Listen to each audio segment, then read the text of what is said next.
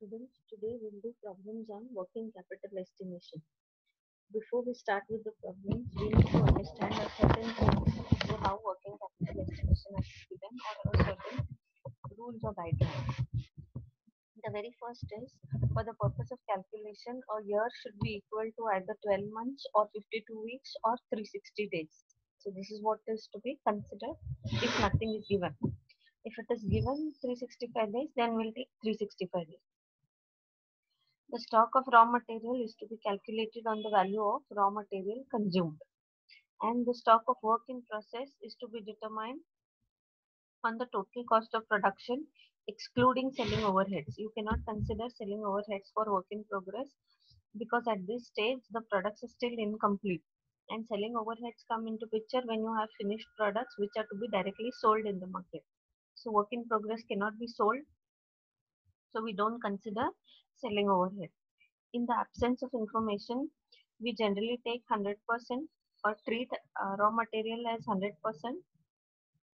and direct labor any other overheads as 50% or wages as 50%. So when you're calculating amount required for work in progress, entire raw material goes into work in progress, but the wages, overheads, all those expenses, we take it only half because the work is still in progress, it's not completed. So all this you'll understand when we do the sum. Let's start with the first problem. We are estimating working capital now. So that basically means we are finding the amount of working capital required for that particular company or organization. So from the following information, you are required to estimate the net working capital.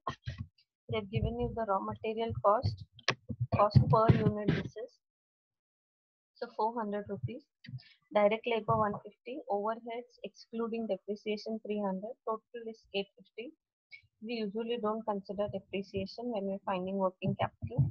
So it's already excluding depreciation. So we need not do anything additional here. They've not taken depreciation. They've given you the additional information. Selling price 1000 rupees. Output that is how many units they're going to manufacture is 52,000 units per annum. And they've given you for how many days the stock will be there. So raw material stock on an average for four weeks it will be there in the organization.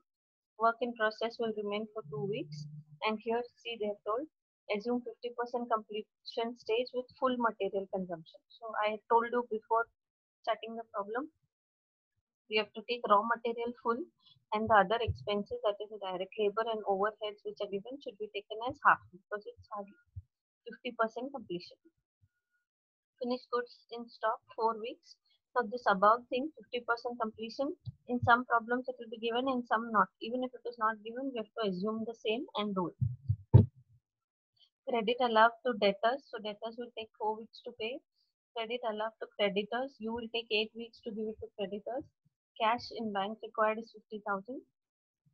Assume that production is sustained at an even pace during the 52 week of the year. So you have to consider one year as 52 weeks.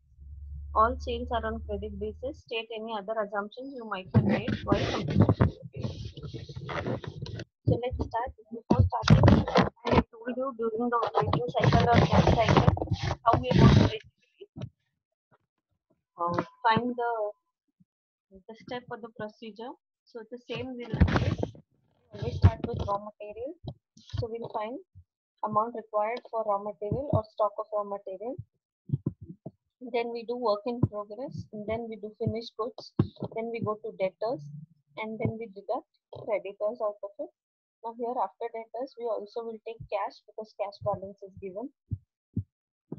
So let's see how the problem works or how do we solve it. Estimation of working capital. We are first starting with stock, stock of raw material. I hope you remember the formula of operating level. Hmm, sorry, operating cycle. Similar way we are going to use this. So if you see, we are manufacturing 52,000 units into the raw material cost given is 400. So we get the total cost of raw material. Now this total raw material will not remain in stock. Only four weeks material will remain in stock. So into 4 by 52, 4 weeks divided by 52 weeks. you will get the amount of raw material that is there in stock. Remember, we are estimating the amount of working capital. So here we are not finding days, we are finding the amount. So again, I'm repeating, we always start with raw material. We have to first find the total cost of raw material and then multiply it with number of weeks it is in stock. So if you see the question, we are manufacturing 52,000 units, the output is 52,000 units and the raw material cost per unit is 400. So when I do 52,000 into 400, I get the total cost of raw material and raw material stock if I want. In stock it remains only for 4 weeks. So total cost into 4 weeks divided by 52 weeks. If it was 30 days, it would be 30 divided by 360 days. If it was 3 months, it would be 3 by 12 months. Here it is weeks, so 4 weeks divided by 52 weeks. So you get it as 16 lakh rupees. Now stock of work in progress, as told in the problem, it is 50% completion stage. You should take raw material full, but other two expenses as 50%. So all the three will come in work in progress because work in progress means we are still working on it. You have already put the raw materials, the laborer is working in the factory, and all other overhead expenses are also being incurred. Overhead expenses like electricity charges, mm, then you might have um, land rent, uh, building rent, all these are basically overhead expenses which are being incurred when we are doing work in progress. The work is still going on. And work in progress takes two weeks. So we have to take all these three, but we have to take raw material full, direct labor and overhead as half. So how we have to solve it? First we'll take raw material, 52,000 units we are manufacturing into 400 just elaborate it so that you can see clearly.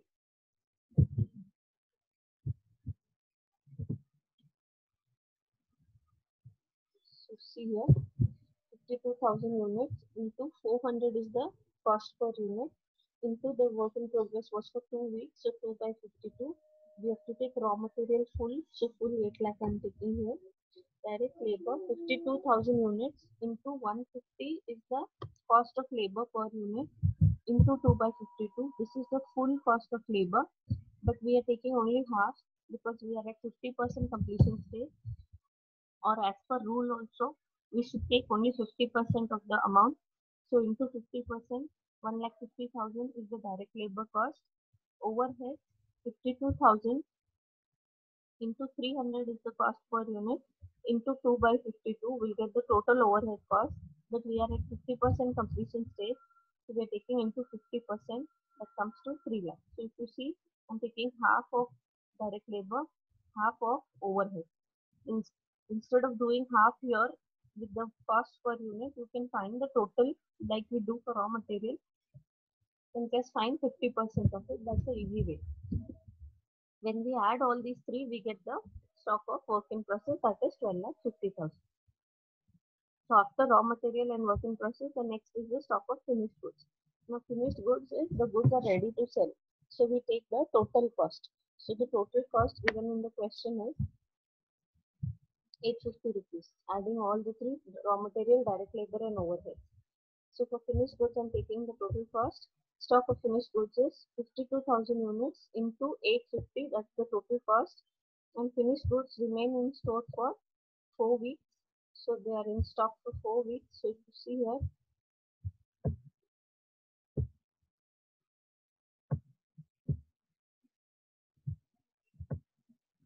stock of finished goods we're doing 52,000 into 850 into 4 by 52. So that comes to 34 lakhs. Next is debtors. Now debtors also we usually take it on the total cost. In some of the problems they will mention to take it on sales if they mention to take it on sales, only then we will take it on sales. Otherwise, we're going to take it basically on the total cost. Now, why we take it on the total cost? Because we are finding the amount that is due from debtors. So, sales includes profit also.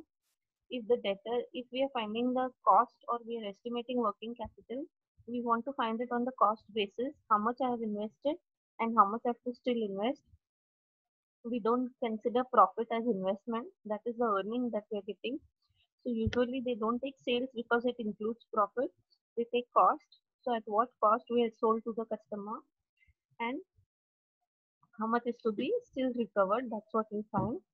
So we'll take 50,000, 52,000 units into total cost is 850, whereas selling price was 1,000, but I'm taking the total cost into 4 weeks is debtors period. So 4 by 52, you get 34 lakhs. So these are the current assets, raw material, work in progress, finished goods and debtors. Now they've also given you cash. So cash amount is directly given 50,000. We take it there 50,000 directly. So if you add all these, this is your total of current assets or we also call it as gross working capital 97 lakh rupees. From this you less creditors. Creditors you take it always on the raw material consumed or on the purchases.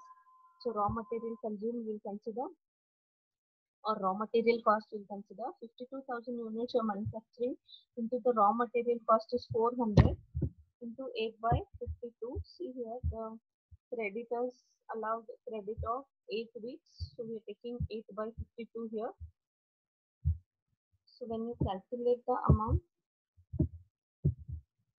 you get 32 lakh. Now to find working capital, you have to do current asset minus current liability. Current assets is 97 lakh minus creditors is a liability 32 lakh. So what working capital you get is 65 lakh. So for this year, the company requires 65 lakh rupees as working capital to run the business. So this is how we estimate the working capital requirement. I hope the problem is clear.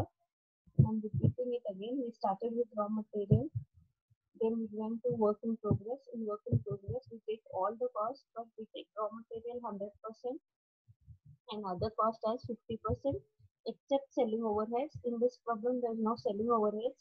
So there is no question of removing it. But if it is given, we won't take it. Stock of finished goods, we'll find on the basis of total cost. Debtors also on total cost until and unless told to take on sale. Then cash, you get when you add everything, you get the total current assets. We also call it as the gross working capital.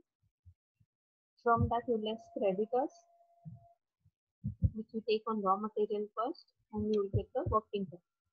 Let's do the next problem so that you understand the method better.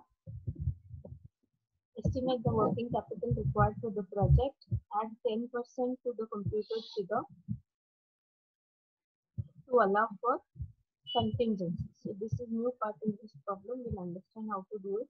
We've given you the cost sheet that is raw material cost is 80 rupees per unit, direct labor 30 rupees, overhead 60 and the total cost of production is 170 additional information the selling price is 200 per unit. Level of activity that means how many units they are manufacturing. They are manufacturing 1 lakh 4000 units. Work in progress 100% of raw material and 50% conversion cost. So we have to take raw material full and direct labor and overhead as half. It is there in stock for two weeks raw material in stock is for four weeks. Finished goods in stock is for four weeks average four weeks. Credit allowed by suppliers this is creditors four weeks. Credit allowed to debtors this is debtors eight weeks. Lag in payment of wages average 1.5 weeks. This is new thing here. What to do with this we will understand.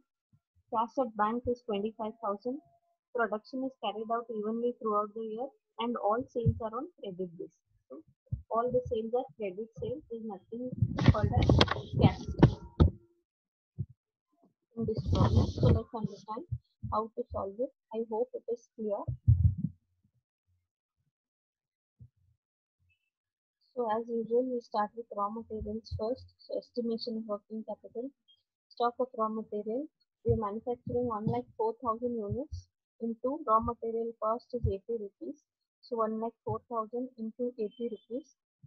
And the raw material remain in stock for 4 weeks is given in the question. So we do into 4 by 52 weeks, we get 6 lakh 40,000 as raw material cost. Stock of work in progress, we have to take all the costs. So raw material 1 lakh 4,000 units into 80 rupees is the cost and work in progress remains in stock for 2 weeks. Here it's given work in process average of 2 weeks. So raw material we take full 3 lakh 20,000 direct labor 1 lakh 4000 into per unit the cost is 30 rupees into 2 by 52. This is the total cost of direct labor, but we have to take only 50% because we are in conversion half stage, we are in work in process. So it comes to 60,000. Overheads 1 lakh 4,000 into 60 is the cost per unit into 2 by 52. And again, this is full, we have to take half. So it comes to 1 lakh 20. When you add all these three, you get 5 lakh rupees as work in progress. So stock of raw materials, stock of work in progress. Next is stock of finished goods. For finished goods, we have to take the total cost. So see here, we have 1 lakh 4,000 units into 170 is the total cost and finished goods remain in stock for 4 weeks. So 4 by 52, you get 1 lakh 13 lakh 60,000. Debtors 1 lakh 4,000 into the total cost again 170 into 8 by 52, you get 27 lakh 20,000. Cash at bank is given as 25,000. So you take it as 25,000 cash at bank. Total current assets you get 52 lakh 45,000. When you add all the things, that is your raw material, your work in progress, finished goods and debtors when and cash. When you add everything, you get 52 lakh 35,000 as current asset. From this, we have to minus current liabilities. So creditors is the first current liability. 1 lakh 4,000 into we take it on raw material cost, which is 80 rupees into 4 weeks credit 4 by 52. You see here. So you get 6 lakh 40,000 as creditors. Now there is one more liability they are told lag in payment of wages. Lag in payment of wages means we are delaying the payment of wages, and whenever you pay later, we call it as a liability. We are liable to pay later. So anything that is outstanding is a liability. So your wages are outstanding, you're paying them late.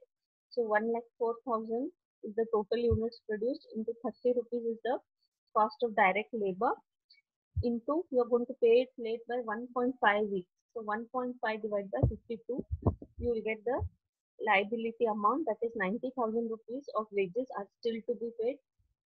So this is also current liability.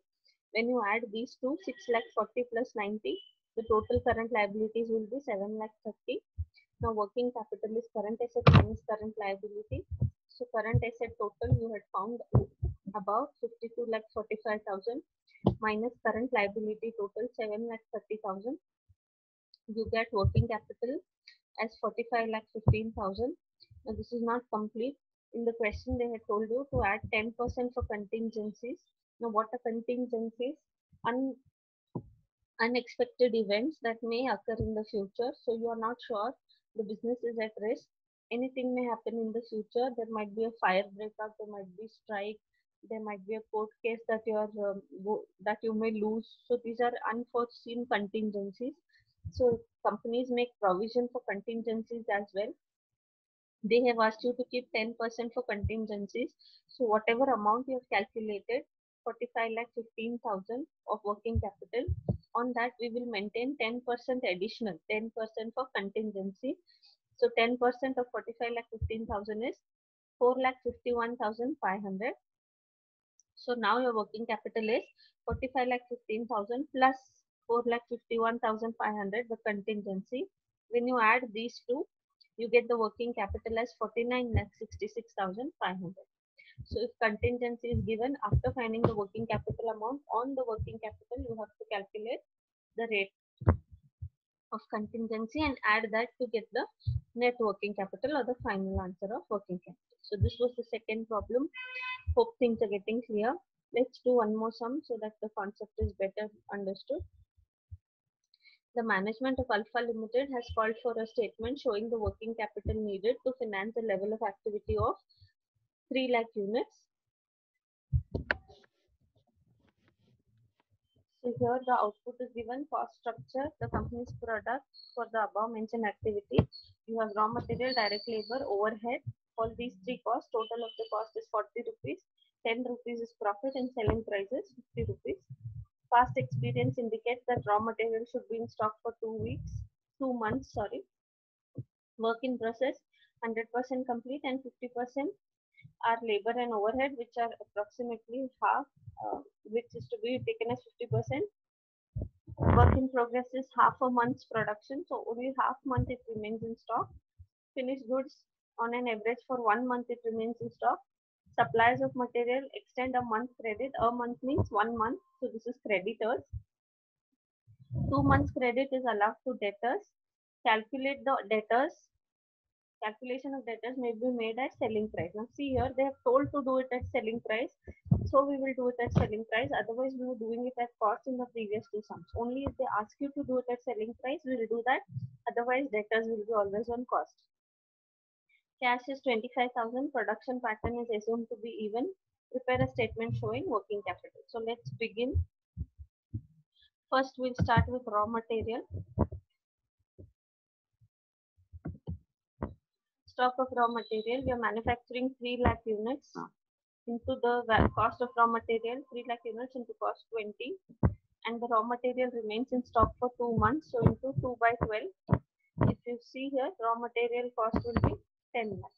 Work in progress, raw material we have to take full 3 lakh into 20 and it remains in stock for half a month. So 0.5 divided by 12, you get 2 lakh 50,000 direct labor 3 lakh into 5 rupees is the cost. Half a month this is full direct labor into 50 percent. Half you have to take 31,250 overheads 3 lakh into 15 into half month divided by 12 that is 0.5 divided by 12 you get the total overheads into 50 percent we have to consider. So 93,750 the total work in progress is 3 lakh 75,000 stock of finished goods 3 lakh into we take the total cost. So if you see here the total cost is 40 rupees. So we are taking 40 rupees into one month it remains in stock. So a month so one month 1 by 12 you get 10 lakh then debtors 3 lakh into we are taking here selling price now not the total cost because they've mentioned in the question take it on sales so 3 lakh into 50 into 2 by 12 two months it remains in stock that comes to 25 lakhs cash given is 25,000. So these are the current assets. You add them all. 49 lakh is the total of current assets. Remember debtors we are taking 50 rupees on selling price because they've asked us to do it on selling price. Then current liabilities, there's only one current liability creditors. They have not told lack in payment of wages or overheads. So there's no other outstanding liability. So creditors 3 lakh into we take it on raw material cost which is 20 rupees and they remain in stock for one month see here raw material 20 rupees and suppliers extend a month credit so it remains in stock for one month so you minus that you get uh, you multiply it by one month you get 5 lakh so current assets was 49 lakh hmm. minus current liability 5 lakh you get working capital 44 lakh. They have not asked you for contingencies so we are not adding any contingency. We cannot assume it. They have to tell it. So this is the third problem. You've got the working capital. I hope things are clear and you've understood the three sums. Any kind of doubts, we'll do it when we interact. Thank you.